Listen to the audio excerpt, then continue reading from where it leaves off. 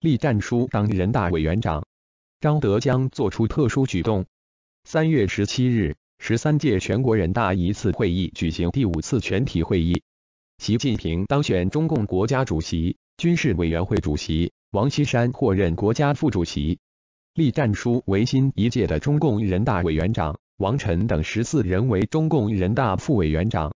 三月十七日上午，中共十三届全国人大一次会议上。中共政治局常委栗战书全票当选中共全国人大常委会委员长，副委员长为王晨、曹建明、张春贤、沈月月、吉炳轩、艾立更。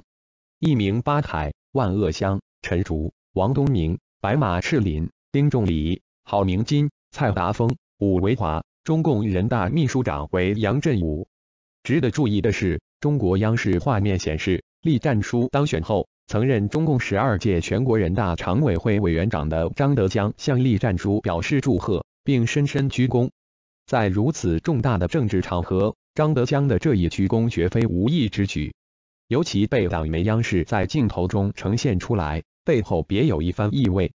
希望之声报道认为，已经届龄的张德江不仅失去了中共人大这一权力宝座，而且从镜头中这一鞠躬来看。恐怕他对自己未来能否平安落地也信心不足。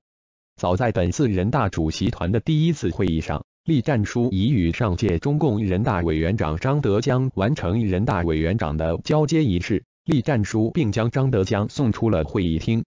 在过去五年里，张德江、刘云山、张高丽江派三常委被指示将派人马对阵习近平阵营的前台人物，也是在江泽民的安排下。张德江从同样被指为江泽民亲信的吴邦国手中接过了中共全国人大委员长一职。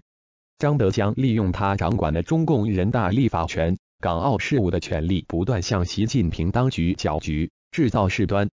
对于栗战书接手中共人大一事，红二代罗宇表示，栗战书的接任是早就定好的，这样在之后的港澳问题及朝鲜半岛等问题上。少了将派中主要跟习近平搅局的人，人大可以配合习近平下一步动作，在立法等问题上减少很多麻烦。现年六十七岁的栗战书被指是习近平的心腹。港媒称，栗战书在一九八零年代与在河北任县委书记的习近平就有交情，故被归为习近平的嫡系官员。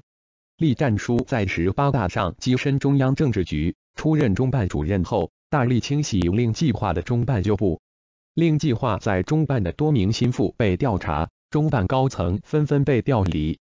此外，习近平视察外访时，栗战书常陪伴在侧，并参加各种活动，深得习近平的信任。